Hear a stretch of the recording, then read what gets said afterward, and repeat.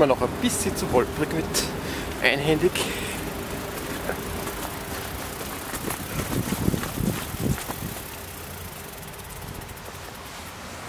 So. Und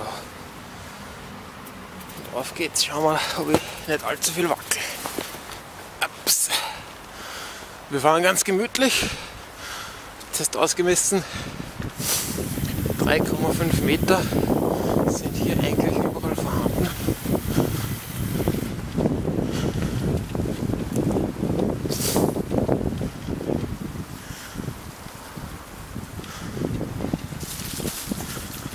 Weil ist die Strecke halt noch ein bisschen holprig. Aber soweit ich das sehe, könnte man die jetzt schon fahren. Es ist kein äh, Fußgängerweg, es ist einfach ein normaler Weg, wie er so durch manchen Wald führt. Hallo Hundi.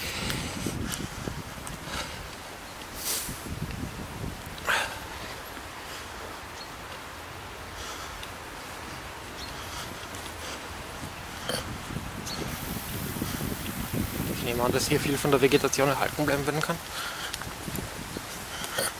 So ein bisschen Gatsch zum Durch. Ist gut.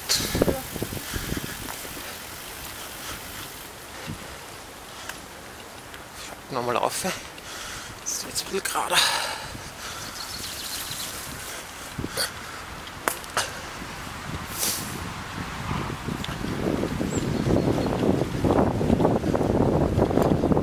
Scheinbar fahren hier auch Baumaschinen regelmäßig. Es wurde hier scheinbar schon gerodet, also hier wird der Radweg problemlos durchfahren. Vielleicht ist das eine Zufahrt zu dem Fernheizkraftwerk hier hinten. So.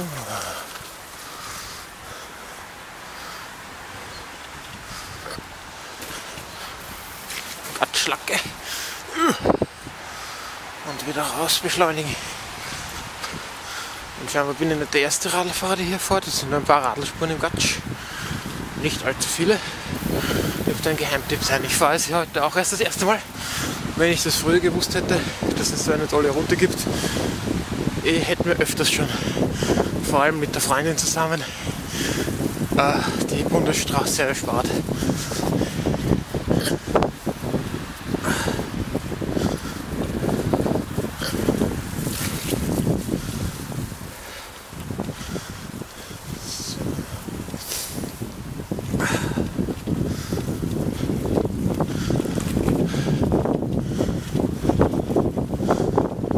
Ich weiß noch nicht, wie weit die Rodungsarbeiten fortgeschritten sind, aber es gab hier scheinbar schon mal welche. Denn einige Baumschnittfell, äh, Baumschnittflächen äh, sind noch hell. Vorne schaut es dann schon ein bisschen kahler aus. Aber ich hoffe, dass doch einiges der Vegetation hier erhalten bleibt. Denn äh, zwischen dem dünnen Baum da vorne und dem, äh, der Wand sind es 3,5 Meter. Also ich glaube, hier kann man einiges von den Bäumen erhalten.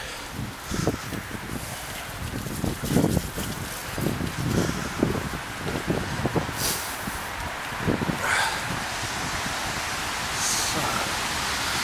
Wieder mal ein Muggel. Aber als alter Mountainbiker ist das selbst im Stadtrat kein Problem.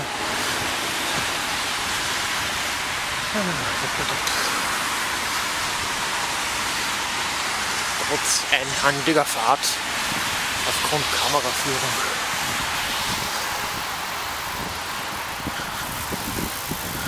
So, hier auch zwischen Baum und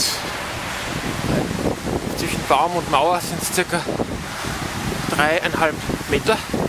So breit soll der neue Radweg werden.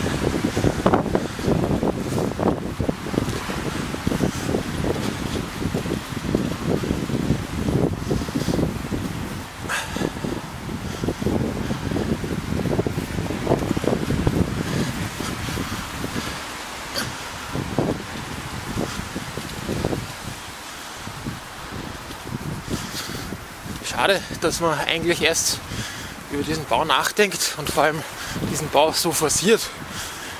wenn er durch eine Autobahn äh, sozusagen erzwungen wird. Wir hätten schon lange auf dieser Strecke fahren können.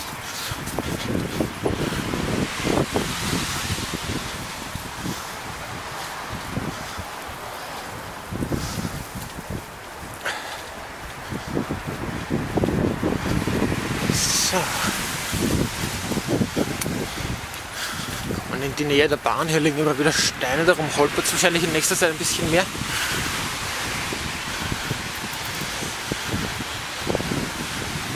Und jetzt wird es auch schmaler.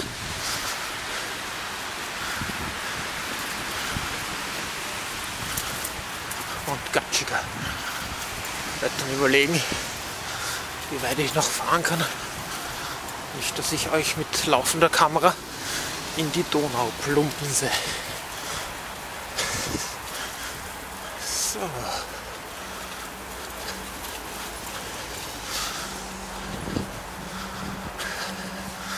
Aber mein Stadtrat ist eh ein halbes Mountainbike. Insofern.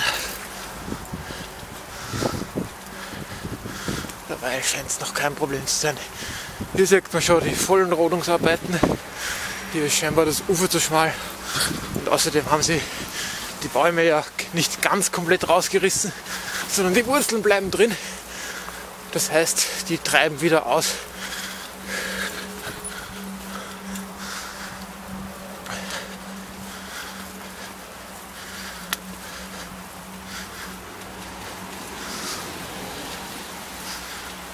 Boah, jetzt wird's warm.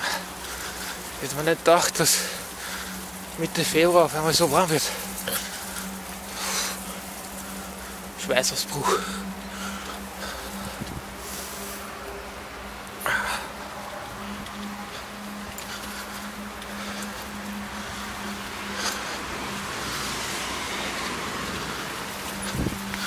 Meine Durchschnittsgeschwindigkeit, also meine normale Fahrgeschwindigkeit liegt momentan bei 15 km/h. Bin gespannt, wie lange ich brauche. Wenn dann ein normaler Radler mit 25 oder 30 durchfährt, ach, sage ich euch dann, wie lange, ich, wie lange man braucht hätte. So. Holper die Polper. Der Frühstau hat sich scheinbar mittlerweile aufgelöst. Dürfte immer so um die um die Stunden herum bildet sich da immer ein Spontanstau, kommt mir vor.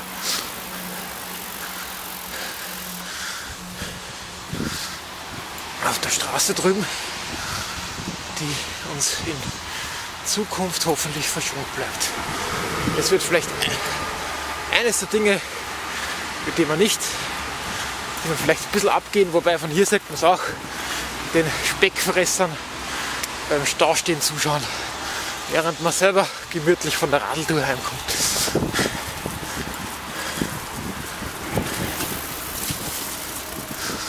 Und sich freut, dass man dieses Mal mit dem Radl bei der Oma war. Marmeladengläser Äpfel und was weiß ich liegen gut in den Packtaschen und kommen auch sicher nach Hause.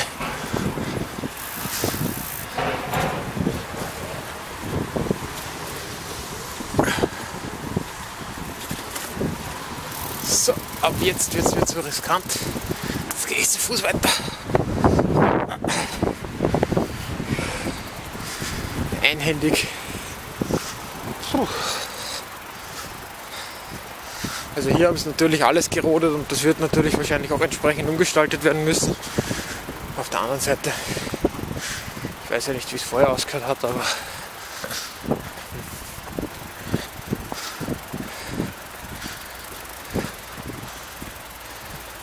Wobei man darf ja nicht gerodet sagen, man muss ja was anderes sagen. Es ist ja gekürzt worden oder so. Weil Roden wäre ja mit der Wurzel ausreißen, dass dann ja nichts mehr nachkommt.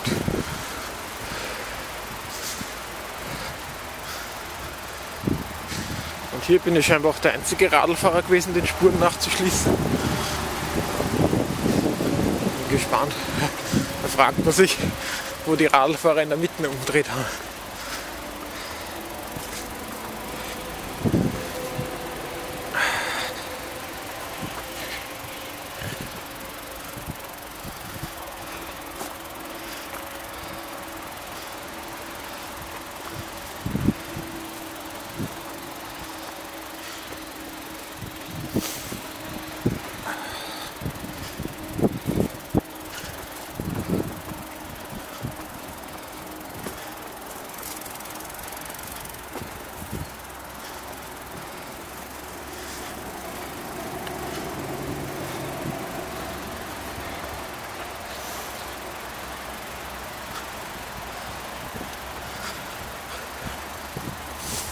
Ui, das zahlt sich zu Fuß.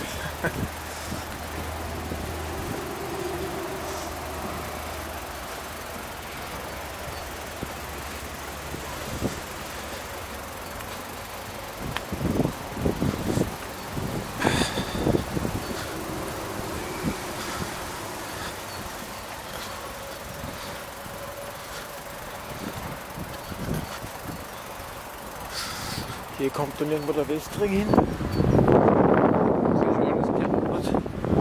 Eieiei, nötigstes Projekt ever. Aber gut.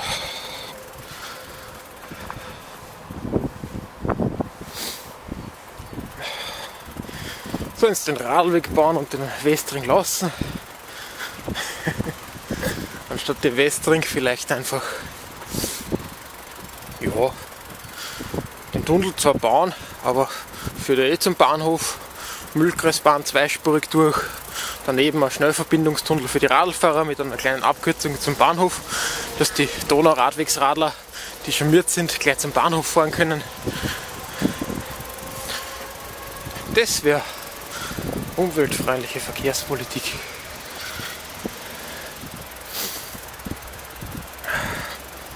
Was man mit dem Geld alles machen könnte. Will ich gar nicht dran denken.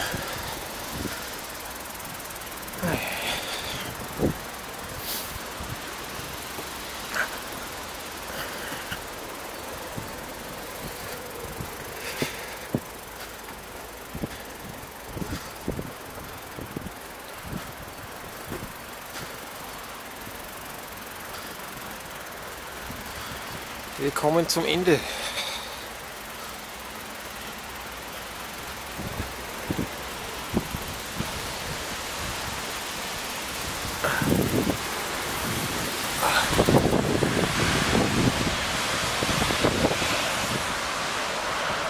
Da sind wir wieder beim Donauradweg.